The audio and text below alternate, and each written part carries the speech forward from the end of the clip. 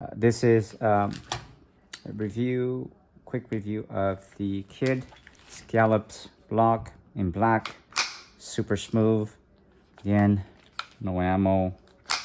Um, on a 1022 Meopta scope, KIDD 22 ultralight barrel, and a two-stage um, KIDD trigger, uh, the red sleeve. And it's at about two pounds, two, two and a half, and I haven't shot it for a while. Let's let's see how. Got two and a half pounds. So it's, I like where it's at. See the first stage. About a pound and yeah, second stage of two pound and a half. So it's perfect. Uh, it's on a special um,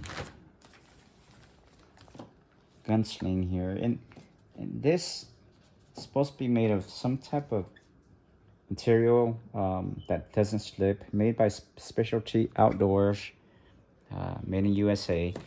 And it is, it's non-slippery, so a lot of the uh, other products, uh, gunslings, they, um, they, rifle slings, they slip.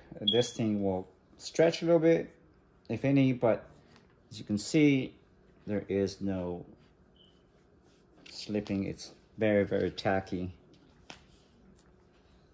So great for anyone who wants something that's not going to slip while they're hiking, things like that.